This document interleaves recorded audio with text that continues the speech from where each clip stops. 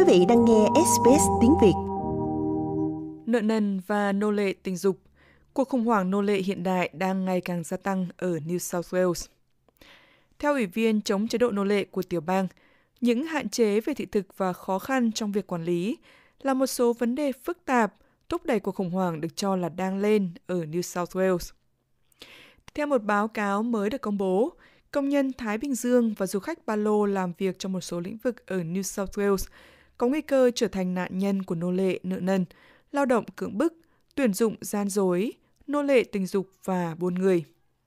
Những lo ngại này đã được nêu chi tiết trong một báo cáo do Văn phòng Ủy viên chống chế độ nô lệ New South Wales công bố vào thứ Tư 18 tháng 9 và tập trung vào những người lao động nhập cư tạm thời được tuyển dụng ở vùng nông thôn của New South Wales.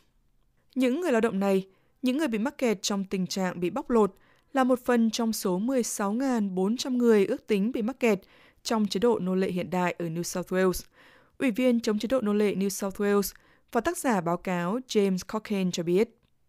Theo báo cáo, cuộc khủng hoảng mới nổi của chế độ nô lệ hiện đại phức tạp do khó khăn trong việc quản lý các ngành nông nghiệp, làm vườn và chế biến thịt. Các ngành này không chỉ sử dụng một tỷ lệ lớn lao động nhập cư dễ bị tổn thương, bao gồm cả lực lượng lao động từ các quốc gia Thái Bình Dương, Pacific Australia Labour Mobility, PALM,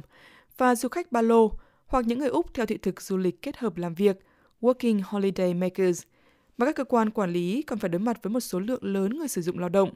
địa lý phân tán và tính thời vụ cao trong lĩnh vực nông nghiệp và làm vườn.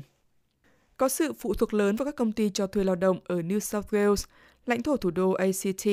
Victoria, Nam Úc và Queensland. Họ không phải tuân theo các chương trình quản lý cụ thể. Việc sử dụng lao động, du lịch kết hợp làm việc thường không yêu cầu phải đăng ký. Do vậy, chính quyền liên bang và tiểu bang có thể gặp khó khăn trong việc xác định vị trí và ai là người sử dụng lao động.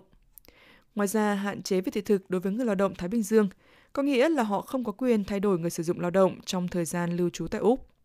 Khoảng 70% công nhân PALM tại New South Wales thuộc nhóm dài hạn với hợp đồng có thời hạn lên đến 4 năm. Một công nhân PALM chỉ có thể chuyển sang một chủ lao động khác theo yêu cầu của chủ lao động ban đầu hoặc theo quyết định của Bộ Lao động và quan hệ nơi làm việc.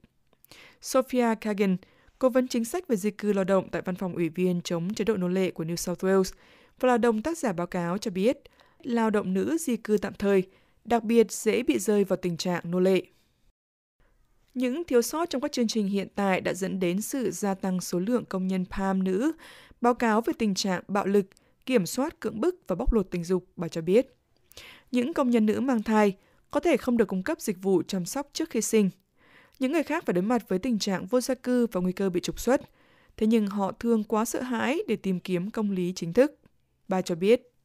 Báo cáo cũng nhấn mạnh rằng do sự hỗ trợ hoặc can thiệp hạn chế của chính quyền, nên gánh nặng giúp đỡ những người lao động này đè lên vai cộng đồng địa phương và các nhà cung cấp dịch vụ cộng đồng, những người không có đủ nguồn lực để hỗ trợ. Quý vị muốn nghe những câu chuyện tương tự có trên Apple Podcast, Google Podcast, Spotify hoặc tải về để nghe bất cứ lúc nào.